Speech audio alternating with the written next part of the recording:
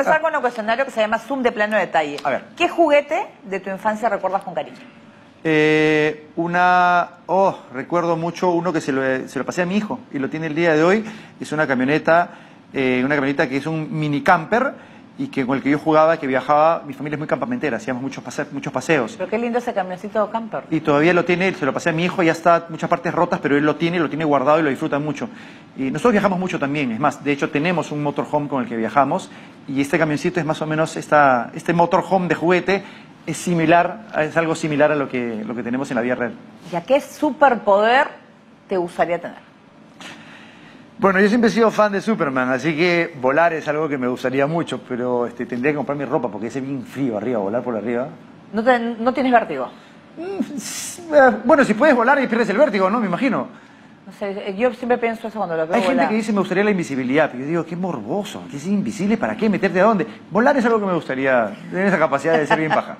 ¿Qué rasgo de tu personalidad te define?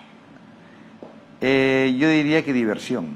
Me gusta vivir la vida de una forma divertida, alegre. Soy muy bromista, eh, voy a decir una palabra que... Soy muy jodón, o sea, me gusta bromear, fastidiar. Pero no eh, bromas pesadas. No, me gusta, no, bromas pesadas no tanto. A veces se te pasa la mano, como todo, en todo en la vida.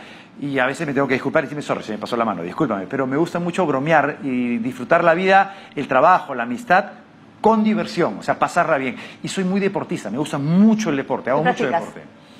La verdad es que hago de todo. Yo juego badminton, yo juego mucho vóley playa, juego fútbol dos o tres veces por semana. Ah, fútbol. Este, en el verano me gusta ir a la playa a correr tabla con mi hijo.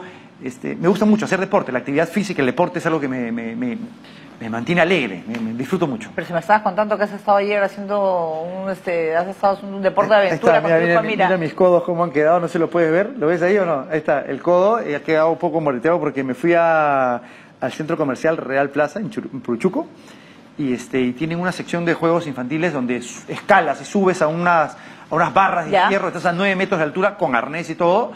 Y nos fuimos ayer y, oye, alucinante, muy paja. Y ahí me metí una resbalada, una resbaladera que me saqué la mugre. Y regresaste a tu casa que a dormir, de, de Regresé a mi, regresé a mi casa a ver televisión, me estaba quedando dormido.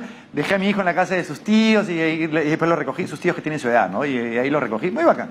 ¿Qué cualidad aprecias en una persona? La honestidad y la bondad. No me gusta la gente que es. Que, o sea, que hace cosas para obtener algo de manera este, maliciosa. Me gusta que la gente sea buena. ¿Y qué sueño tienes aún por cumplir?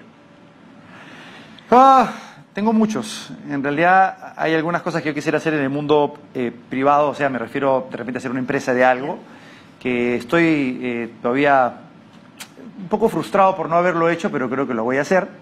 Y lo que te comenté, de repente es algo que me gustaría hacer, dirección de teatro musical.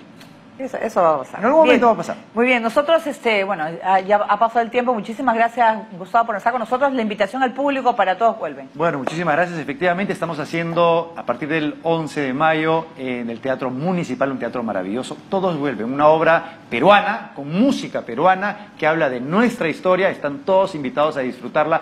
La van a pasar muy bien, una obra para toda la familia, muy divertida, que habla de lo duro, eh, lo penoso y lo, y lo bueno que sucedió en la historia del Perú. Los invitamos en el Teatro Municipal. La van a pasar muy bien. Bienvenidos. Bien, gracias, Gustavo, por estar con nosotros.